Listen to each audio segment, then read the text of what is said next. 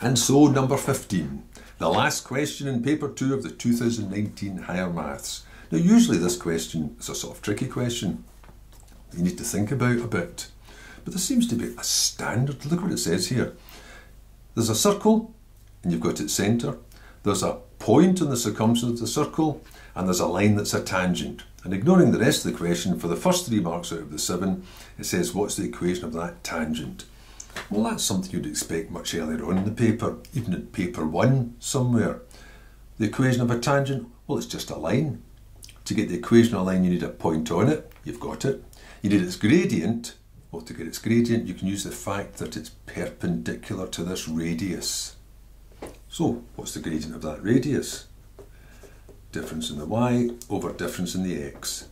12 take away 13. Difference in the x is in the same order. 8 take away 5. So that's negative 1 upon 3.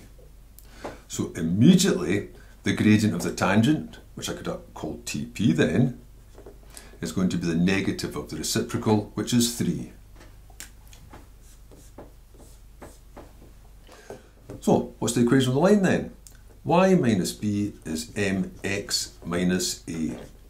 y minus the y coordinate, 13 is the gradient, 3, that looks about right, steep, x minus the x coordinate which is 5, so you've got y is 3x minus the 15 but plus the 13, so y equals 3x minus 2.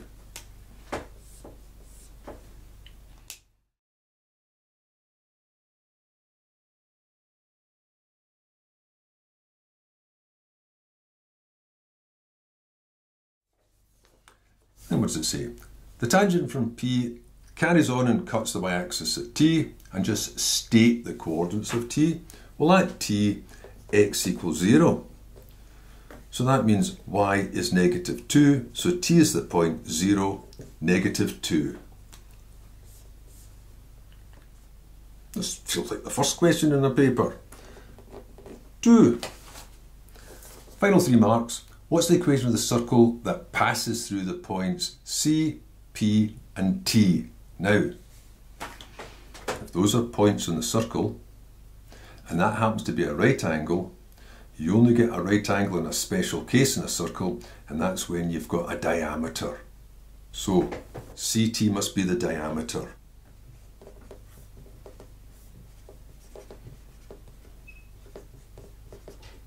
Maybe give the reason as angle CPT is 90 degrees. And if that's the case, the centre of the circle, what do you got C there, maybe we'll use a K, must be halfway between C and T. That was 0, negative 2. So you could just state it, or you could go through the calculation, average of the coordinates, x plus 8 upon 2 for the x's, 0 plus 8 upon 2, negative 2 plus 12,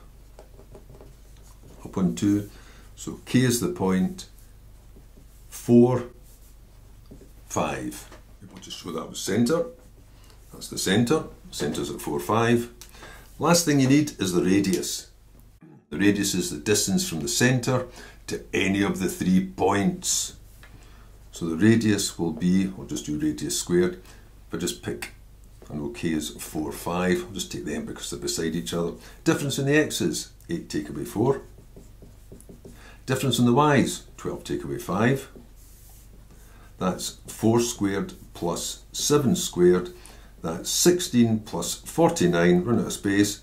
That's 65. Now I don't need to state that explicitly, that the radius is root 65, because now I can get the equation. I've run out of space, I'll just have to squeeze it in here. So the equation is x minus the x coordinate squared plus y minus the y coordinate squared is the radius squared, which is 65.